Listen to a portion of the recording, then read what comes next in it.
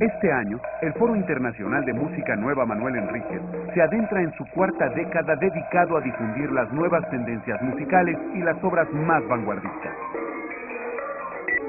Fundado por el compositor Manuel Enríquez, ha sido un espacio de encuentro en el que compositores de todo el mundo han podido expresar sus ideas y comunicar sus inquietudes artísticas.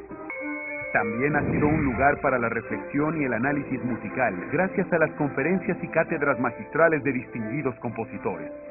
Al llegar su edición número 31, el foro es, por derecho propio, uno de los eventos más esperados por compositores e intérpretes que muchas veces han iniciado y consolidado ahí su carrera.